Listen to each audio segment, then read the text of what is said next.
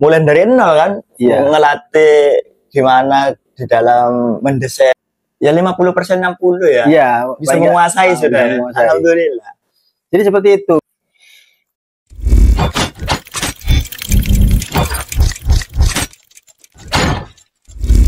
Assalamualaikum warahmatullahi wabarakatuh. Kembali lagi dengan Jasa Blon TV.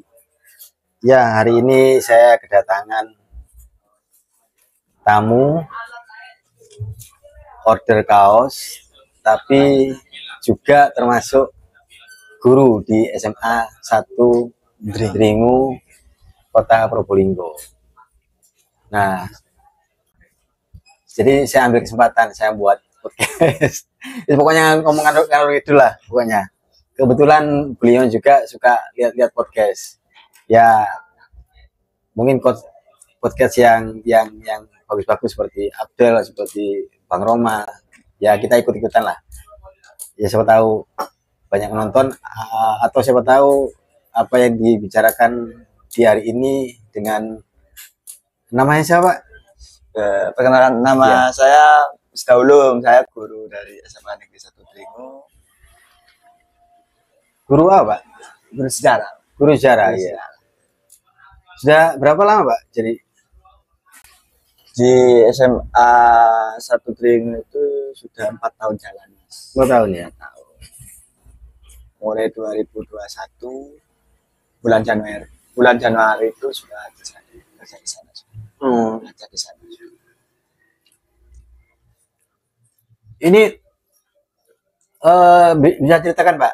Misalnya kalau bisa ketemu saya di sini nyapuan itu Oh. bagaimana Pak, awalnya? ini ceritanya itu kan di SMA Negeri 1 Tringu itu kan ada yang namanya double track desain grafis gitu. Nah, itu yang mengelola di situ ada saya sebagai pendamping dan sebagai karena itu Bu Maya itu guru kimia. Nah, jadi saya dampingi Bu Maya ini untuk kegiatan double track desain grafis. Terus pas pada waktu itu anak-anak atau siswa yang ikut dalam kegiatan double track desain grafis itu juga membutuhkan pendamping di dalam ngedesain lewat Corel Draw. Nah, setelah itu kami kami saya dan Bu Maya itu mencari orang yang ahli dalam Corel Draw dan juga ahli di dalam sablon kaos. Nah, pas pada waktu itu bingung soalnya belum ada kenalan gitu. Terus cari-cari di Google. Nah, dan ternyata ketemu dengan Anu Mas Jaya Mas ya. Iya, kontak kan anu, waktu itu promosi atau gimana itu di Google ya Mas ya. iya. Nah, terus kontaknya kami anu hubungi. Nah, dan pada waktu itu kita kenal dan akrab sama Mas Jaya dan sering pesen kaos di sini. dan kualitas kaosnya sangat bagus, menjamin dan tidak mengecewakan. Itu dulu anu ya sebelum Covid, Pak ya. Waktu Sebelum ngajar Covid. ya. Sudah, sudah Covid. Sudah Covid Mas. Sudah Covid ya. Menuju sudah new normal itu. New Oh, normal itu. iya jadi berapa? Pokoknya dua hari, Pak ya, setiap minggu ya. Seminggu, Dua hari ya. sehari, dua, dua kali pertemuan. Sabtu sama minggu ya. Satu minggu. anak-anak. Jadi dulu saya ngajar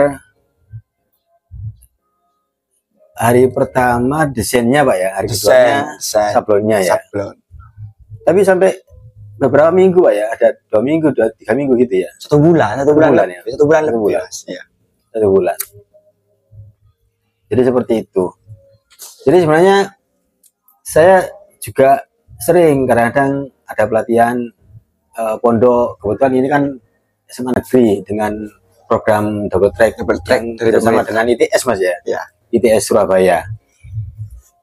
Kadang dari PCNU Kota Probolinggo juga kadang undang saya juga untuk ngajari anu ngajari anak-anak santri.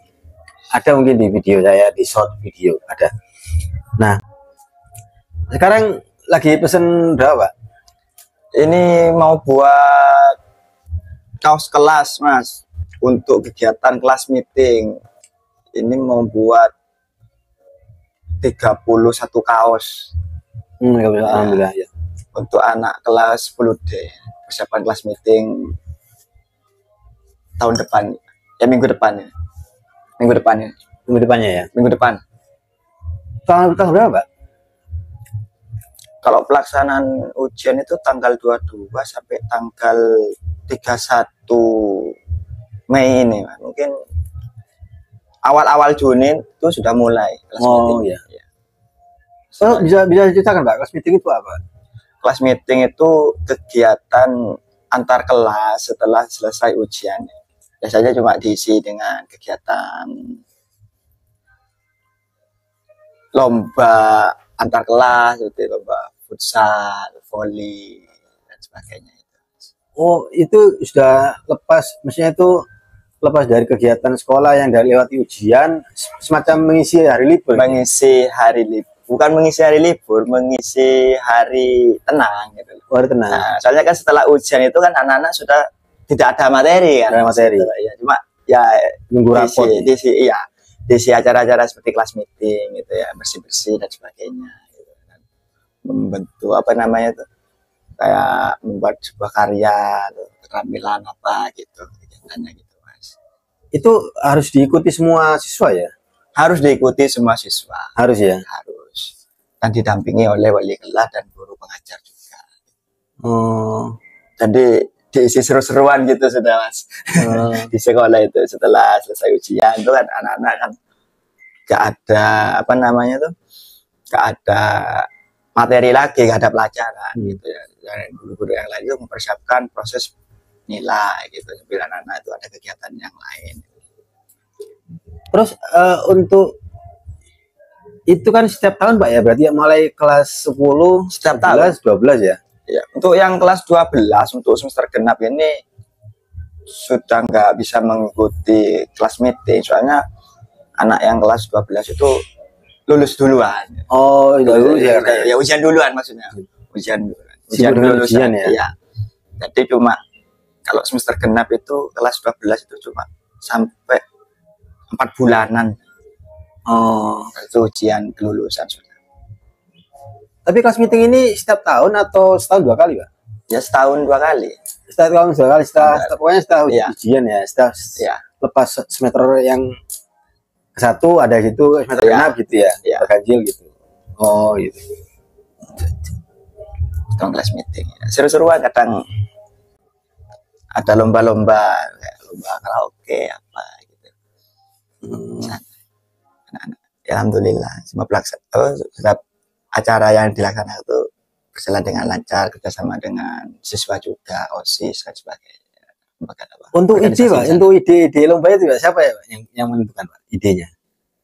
itu kadang dari kesiswaan juga terus dari siswa juga osis. Usulan-usulan dari Ya, siswa ya, usulan usulan. gitu. siswa juga gitu dari osis gitu juga Iya nyala kan ya. Aku Nyala. nggak nyala. Alah, Ya ngomong pas nggak nyala. Jadi seru juga ya. Ini, ini program itu apa semua SMA apa ya? Sampai apa SMA dari aja pak? Sampai semua semua ya. semua Memang sudah ada ada semacam kayak dari pusat ya, dari departemen pendidikan ya. Iya, dari bukan dia enggak anu juga sih Mas, bukan anu cuma dari apa ya cuman dari bukan dia kalau ngomong dari yang pusat ya mungkin iya juga cuman nggak begitu dianu tapi untuk mengisi ya, ya untuk, untuk kegiatan ini ya mungkin dari sekolah masing-masing sudah gitu Oh, dari Iya. masing-masing. Mm.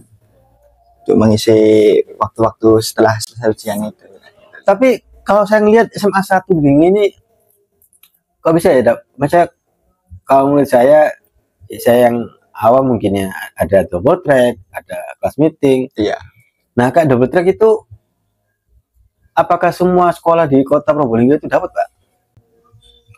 nggak semua Enggak semua. nggak semua hanya sebagian kalau memang mau melaksanakan program pemerintah yang dari tadi itu betul itu itu ada sendiri. Ada kriteria sendiri ya yang akhirnya ditentukan gitu. iya iya. Akhirnya dipilih sekolah ini yang harus Ya. bisa double track. ya pelaksanaannya terus dari laporan-laporan gitu ya. Atau mungkin permohonan juga dari sekolah SMA satu Lingu permohonan ke Departemen apa, Pendidikan, Pendidikan ya. di Jawa Timur. iya Akhirnya dapat dia ya. dapet gitu dia apa di di ACC lah gitu Iya. double track Kerjasama double track itu waktu itu selain ITS sama siapa mana, mana lagi pak? Waktu kegiatan double track itu? awal-awal Iya. kalau awal-awal itu saya nggak begitu paham soalnya saya masuk di 2001 ke apa masuk di SMA Green itu sudah pelaksanaan double track itu sudah berjalan gitu. Cuma baru-baru saya masuk di sana itu Ibu Maya ini langsung nunjuk saya untuk mendampingi mendampinginya Hmm. untuk kegiatan-kegiatan. Misalnya kan kalau sendirian kewalahan mungkin Iya. Maya untuk jaga siswa gitu. dalam pelaksanaan double track itu kan juga Bu Maya itu sibuk dengan tugas sebagai kurikulum gitu. Tugasnya itu banyak gitu. Kadang masih buat laporan-laporan dari kurikulum terus masih ngajar di kelas terus sebagai wali kelas juga gitu terus masih ngurus double track gitu mungkin dengan kesibukan seperti itu akhirnya saya ditunjuk untuk mendampingi di double tracknya gitu bantu-bantu lah gitu Iya. Bantu Maya di, di dalam double track gitu. Tapi kalau menurut Bapak sendiri secara pribadi setelah membantu mendampingi Bu Maya kesan dan pesan dari kegiatan double track sendiri menurut Bapak gimana Pak? untuk kesan-kesan di dalam kegiatan double track itu sangat bermanfaat mas sangat mendukung apa ya melatih apa melatih kreativitas anak gitu melatih apa namanya itu bakat anak gitu Lebih me- me- me- apa ya? Menggali lagi ya. menggali lagi bakat anak dan mungkin bisa dijadikan apa ya tambahan ilmu di dalam bakatnya anak itu Hmm, oh iya. Dia punya kemampuan kemampuan itu jadi setelah lulus dari sekolah dari tempat lembaga di pendidikan mungkin bisa dijadikan bekal untuk membuka usaha sendiri ya. buka usaha diri dan mengembangkan bakat-bakat yang sudah Yang bisa ada di sudah ada di dalam dirinya itu. Tapi double track itu nggak wajib Pak ya kemarin ya. Kan nggak semua siswa yang ikut. Gak wajib, gak Nggak wajib, wajib, ya, gak wajib. Cuma bagi siswa yang tertarik ya tertarik dan mempunyai kemauan. kemampuan di dalam desain grafis itu, yang punya bakatnya di situ itu. Oh. Jadi lebih lebih lebih di- lebih dikenalkan lagi mungkin Heeh, eh, lebih diperdalam lagi diperdalam lagi. ilmunya Iya. bukan hanya nyoba-nyoba gitu mungkin ya. Tahu. Ya kalau yang mau nyoba-nyoba ada juga gitu. Soalnya kan dari awal itu memang belajar dari nol gitu. nol. Jadi Nol. Pengen ikut lah karena ada Ah. double track ini meskipun Iya. dia agak punya bayangan dari awal untuk awalnya untuk grafis atau grafis nyaplon dan sebagainya itu ya mulai termin ikut ya. apa apa ya namanya tuh tertarik tertarik tertarik dan akhirnya gabung juga akhirnya ya. Bersemangat untuk mau belajar dari awal sampai Iya. belajar nyablon buat pin gitu Iya. buat pin gitu Tapi keuntungan lain, Pak. Keuntungan lain setelah double track itu se, se- anak yang oh ya, sebelumnya anak yang ikut double track itu kelas-kelas berapa, Pak? Anak yang double track. ada yang dari kelas 11 dan kelas 12 Kelas 10 belum boleh ya? sebenarnya Boleh. nggak apa-apa cuma pada waktu pelaksanaan kemarin itu belum ada Belum ada yang belum ikut ada ya. yang ikut itu yang kelas 10 Sebenarnya dibuka itu semua untuk semua buka kelas, ya? semua sebenarnya gitu. Cuma minatnya anak-anak itu beda-beda double tracknya itu kan bukan hanya di desain grafis di SMA Negeri 1 Tribun gitu. di fashion juga ada gitu. Oh. di video grafis ada gitu. Oh. banyak bukan hanya di desain grafis di video grafis juga ada dan kebanyakan anak-anak itu ke video juga Oh video. video juga membuat video-video seperti sinematik gitu Tapi dari sekian sekian apa ya? Sekian materi atau apa ya tadi ada yang fashion, ada yang video, Iya. ada yang sablon. Nah, dari anggap aja tiga tadi itu kira-kira yang setelah mendapat pelatihan Hmm. yang bisa menguntungkan sekolah di bagian mana itu, Pak? Maksudnya yang masih bisa di- digunakan oleh selama siswa itu masih belum keluar, maksudnya belum Oh, lulus, lulus untuk- tapi bisa dikaryakan sama sekolah itu di bidang apa itu? Dari tiga double track macam apa materi tiga double track ini? oh itu kadang ada kegiatan apa namanya itu ada kegiatan sekolah yang kayak panitia panitia kegiatan tuh kan kan mesen kaos itu kan Iya. double track gitu. jadi anak-anak double track itu yang mengelola kaos itu gitu. Oh, dari, dari hasil dari hasil belajar belajar tadi itu ya. gitu. Jadi terus membuat pin gitu kadang. Ditaruh di mana tuh? Di pesanan gitu loh mas. Iya pesanan. apa? Ditaruh di media sosial untuk dipromosikan. Oh. mungkin ada yang pesen. Alhamdulillah dari luar juga ada yang mau pesen gitu. Hmm. Pes- pesen gitu.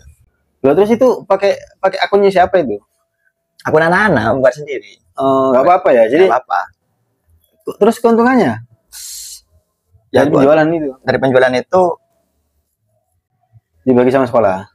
iya memang ada yang ngelola sendiri sudah anak-anak sendiri Karena emang dimodali sekolah waktu itu. Iya dari sekolah dari sekolah Anak hanya hanya mengerjakan ya. mengerjakan gitu terus hasilnya itu dinikmati bareng-bareng lah gitu. Oh. Anak-anak seneng juga gitu loh walaupun sedikit Pengalaman gitu. ya, pengalaman ya Untuk berjualan meskipun masih sekolah ya. iya Kan siapa tahu kalau memang dia passionnya ke situ waktu lulus mungkin sambil kuliah sambil jualan gitu. nah ya sudah dibekali dari double track Double track gitu ya. Manfaat juga ya. iya programnya bagus sebenarnya bagus Cuma minatnya kurang Pak ya waktu itu ya. iya Minatnya. Kalau ngelihat dari jumlah yang ikut double track itu sama jumlahnya itu kayaknya 10% aja nggak sampai Pak ya. iya cuma anak-anak tuh ada yang di videografis ada yang di desain grafis ada yang di fashion ada buat buat apa baju Iya. cara jahit gitu Hmm. sebenarnya kalau oh, banyak sih sebenarnya cuma kalau di desain grafis cuma sekian anak terus Oh. yang videografis sekian anak gitu. yang di desain itu sekian anak gitu. Iya. Iya maksudnya sayang ya, maksudnya itu ya intinya meskipun Pak ya, meskipun kalau kalau misalkan sih, kalau misalkan saya masih sekolah, Iya. mungkin tiga-tiganya saya ikuti semua. Karena kan nggak dipungut biaya waktu itu Pak ya. enggak Enggak dipungut biaya kan. ada. Jadi enggak boleh ada penarikan biaya pokoknya ikut aja gitu ikut ya. aja sudah Di hari libur ya, hari Sabtu sama Minggu ya Iya. waktu itu ya. Jadi hari lab, hari bebas. ya, sekolah memang memfasilitasi semua itu. Makanya itu kan kalau- mendukung sekolah itu mendukung bakat anak itu kalau buat saya waktu mungkin ma- masih saya di siswa dengan acara kayak gitu gratis lagi kan dapat ilmu. Gratis. Sebenarnya kan ya ikut aja kan sebenarnya Pak. iya gak apa-apa Makanya itu kalau saya lihat kayaknya nggak sampai 10% kayaknya waktu itu. nggak sampai untuk yang Sayang sekali saya. desain grafis sih ya anak-anak itu Maksudnya itu kalau 50% masih mendingan.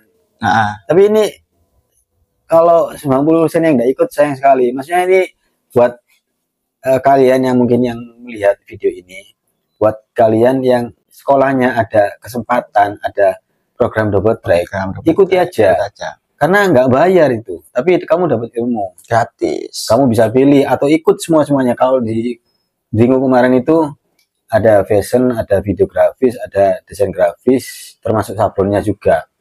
Sablon digital, sablon manual waktu itu. Nah itu kan kalau nggak diikuti kan eman. Ilmu, sayang. ya.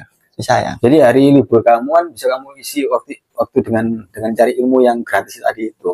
Dan praktek langsung, praktek Ketemu- langsung langsung ketemu dengan orang yang ahlinya di situ. dilatih Dilatih langsung, iya, Kayak Mas dilatih. Jaya kemarin tuh kan mulai dari nol kan? Iya. ngelatih gimana di dalam mendesain apa namanya? Corel ya? Corel ya Corel itu. Alhamdulillah kan ya anak-anak. Iya. Ya 50 persen 60 ya? Iya bisa nggak- menguasai ah, sudah ya. menguasai. alhamdulillah. Jadi seperti itu. Misalkan waktu itu desain grafisnya sama sablonnya sa- saya waktu itu. Ya. ya saya ng- ngajari. Jadi satu minggu ketemu dua hari. Tapi sampai beberapa bulan waktu itu atau beberapa minggu, minggu itu. Anak-anak itu kan gratis kan eman kalau nggak diikuti. Maksudnya itu, menguasai sekian persen sampai 60 persen ya mas ya? iya lumayan. Lumayan. Karena waktunya memang sempit. Jadi campur kalian belajar campur cara apa ya cara mencari penghasilan atau cara kerja nanti siapa tahu buat usaha sambilan untuk sambil sekolah. Ya. sayang sekali kalau misalkan ikut pelatihan ikut seminar ka- kalian harus bayar tapi di program double track ini nggak bayar difasilitasi Difasilitasi sekolah. semua kan saya nggak nggak datang dari komputer alat Iya. sablon alat dan sebagainya itu sudah Itu difasilitasi Cuk. lengkap jadi dibelikan semua dibelikan Kamu semua apa yang tinggal- dibutuhkan. tinggal pakai kan sayang kalau nggak ikut jadi maksud saya kalau kalian masih kelas 1 atau SMP yang akan tahun ini akan masuk SMA cari yang tahun kemarin itu sekolahnya ada double tracknya. Itu kamu pasti untung di situ. Cari aja kamu. Jadi informasi oh tahun kemarin ada nggak double track di sekolah ini? Kalau ada kamu di aja. situ. kamu pasti di situ kamu tinggal ikut aja. Nggak usah bayar lagi nggak usah repotin orang tua. Saya itu. Jadi jadi sekian dulu eh, podcast kecil-kecilan dari Jaya Sablon TV terima kasih dengan Pak Ulum Ya. guru sejarah di SMA. SMA 1 Neringu Kota Probolinggo Assalamualaikum warahmatullahi wabarakatuh